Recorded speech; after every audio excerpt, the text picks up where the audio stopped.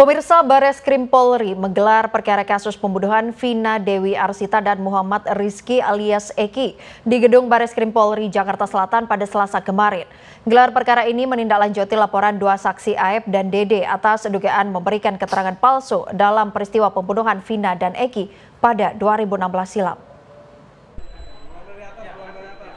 Gelar perkara awal itu berbeda dengan pengusutan perkara ulang.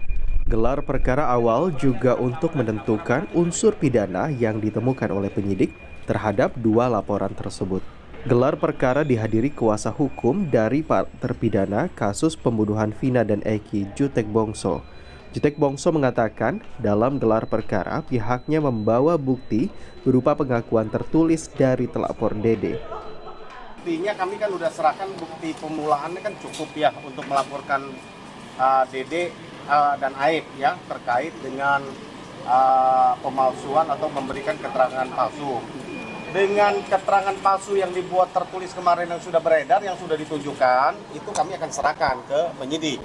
Pengakuan dari Dede, ya kan? Nanti uh, disaksikan oleh kuasa hukum dari uh, Dede sendiri, oleh Pak Asido Utabarat nanti kita akan serahkan ini buktinya dan juga ada nanti diperlukan apa kami siap untuk menghadirkan bukti-bukti yang lain untuk membuktikan laporan kami bahwa saudara Dede dan Aib telah memberikan keterangan palsu Bapak, atau yang tidak benar. Direktur Direktorat Tindak Pidana Umum Baris Krim Polri, Brigjen Polisi Juhan Dani Raharjo Puro, meminta kepada masyarakat untuk tidak berasumsi terkait perkara yang saat ini ditangani kepolisian karena hingga saat ini dua laporan tersebut masih dalam proses gelar perkara awal. Jadi kegiatan hari ini adalah gelar perkara awal. Ya, kita luruskan. Menyikapi situasi yang saat ini terjadi di tengah masyarakat kita, ya, kami tetap menghimbau mari kita percayakan dengan mekanisme hukum yang berjalan. Karena kita lihat di luar ini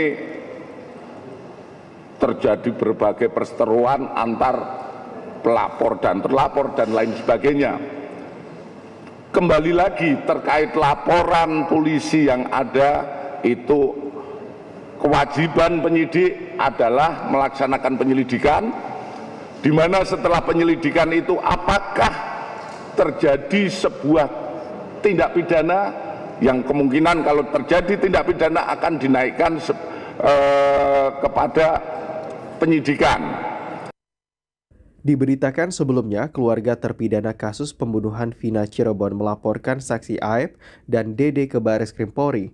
Aib dan Dede dilaporkan atas dugaan memberikan keterangan palsu. Aib dan Dede telah memberikan keterangan palsu saat diperiksa polisi terkait kasus pembunuhan Vina. Keterangan itu telah dituangkan dalam berita acara pemeriksaan. Demikian laporan Diki Renaldi Garuda TV.